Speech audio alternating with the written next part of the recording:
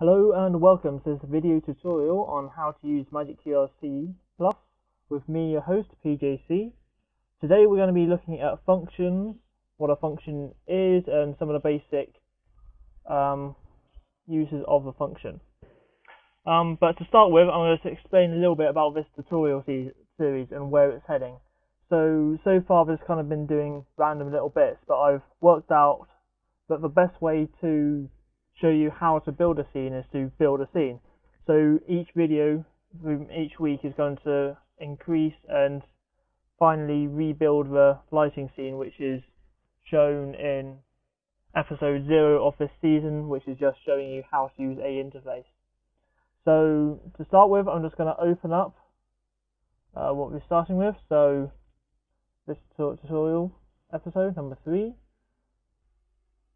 so here I've just added a bunch of lights as we covered in the previous video tutorial and how to create one, so the Q Beams 260s which we created last time. So the way I set these out is what's matching what's at church. So this is a picture from an Empower conference where we set these lights up. So we got two lights at the top here, two lights at the top here, two lights in the bottom panels there, two lights at the bottom panels there, two lights there, which are the drum lights, and then one, two, three, four, five, or just off shot, six bars going across there. So those I'm referring to as the bar lights. Those back ones I'm referring to as panel lights. And then we have three sets of bars going across the top. So let's open up this Excel sheet. I'll put a link to this in the description. Um, here are all the different lights in roughly the right positions with uh, different channel numbers corresponding to them. So the very front house light there, number 13, is front house light there, number 13. And so on and so forth. So that's a little bit about the setup. So to make this easier to see what's actually going on with the lights, I'm going to go through how to use the monitor. So if we open up the monitor, we get this whole range of stuff. What this is, is basically showing you the name of the light. So we've got the bar lights there, and the house lights and all the other different colour lights, and what the values are pumping out. So if I was to go into the simple desk and turn up channel 1, which is bar 1, the value goes up. So we can just change it up and down and just click that. So what a better way to do personally for me is to have a visual representation of what's going on. So if we go into the 2D view, we can see this grid where we can create lights going on to it.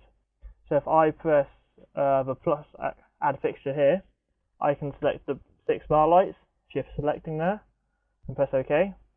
Then I can drag those into the scene, and it will tell me which one it is. So I can go back to my Excel sheet there, uh, just pin that to the left hand side there. So I can see that's the left hand one. The 6 goes there, 5 there, 4, 3, 2, and 1.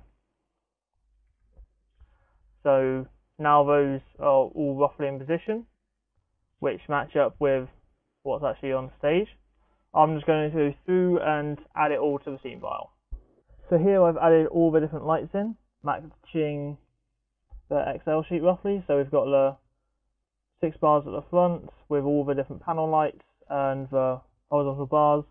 I've just left out the ones which are not in use because we don't actually need to see them because it doesn't matter whether they're turned on or not. So I've just left them out. That's that. Um, so let's just talk about the fixture monitor for a little bit. So here we've got the grid size. So I've upped it so I've got enough grids to evenly space the lights out on. And then you've got units as well. Um, here's the fixture button, so you can add fixtures to it. So just finish this off by adding the two Q beams. Shift select those.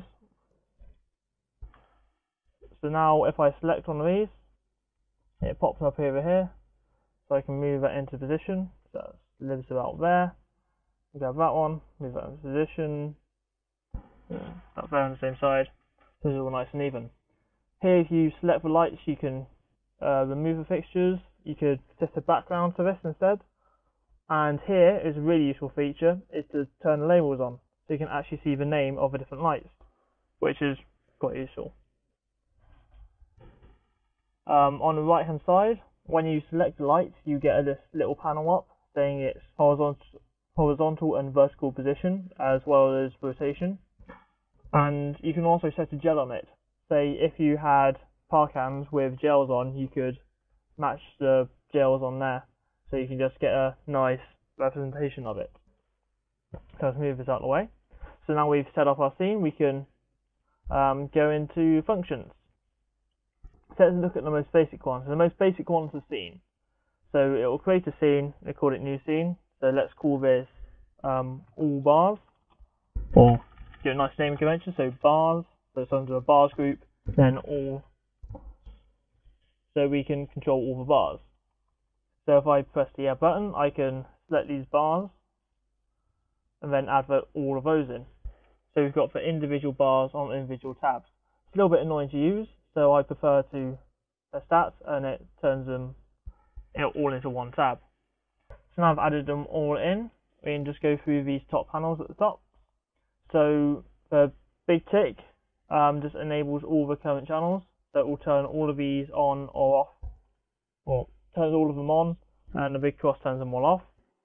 Uh, those two are for clicking through the tabs. Here we've got a section of copy and paste stuff, which we'll talk to when we get to the more complicated lights. Um, here we've got the speed dial. So all lights have a basic fade in and fade out time, which is called to default by other functions. So if you want them to always fade in at one second or and always fade out at one second, you can set this time here. And let me just turn it off. Um, here is blind toggle mode. So if I activate the, these bars and then turn up bar number one, which is that one there, you can see it's activating on screen. So say we were on plugged into the main system, you'd actually see these lights coming on. If you have blind mode activated though, you can ha have a show running and tweak these in the background and you won't be interfering with what's going on on stage, which is really useful. So at the moment I'm just going to leave that off because it doesn't matter. So for this function, I'm just going to turn them all on, like that. So now we've got our first scene with all the bars on. Um, so I'm just going to create a couple more scenes with each individual light on. So here I've just created individual scenes with each bar turned on uh, one at a time. So let's move into the next function, which is a chaser. So a chaser steps from one scene to another scene to another scene to another scene, or vice versa, depending on what some of the settings are. So if we go this chaser, let's call this a bar underscore run. So we're going to run through all the different lights. Uh, we can add functions to it, so we can add these individual scenes. So it's going to step from one function to the next, to the next, to the next.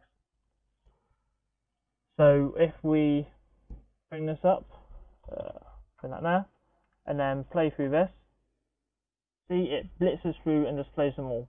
That's because our fade and hold times are set to zero, so it's trying to do it instantaneously. So if we go into a stopwatch, we can change some of these settings. Uh, to, but as you see, these are both grayed out. This is because at the moment, the fade in and fade out speeds are set to default. So it will be calling the default scene value which we saw earlier. So we can set these to common and then we can control these via these dials. If you wanted to, you could set it to a per step basis, then you could individually control how fast they each fade in and fade out. So I'm just going to set them to common for now so we can fade them all at the same time. So I'm going to hold it for two seconds. Going to fade out for one second and fade in for one second.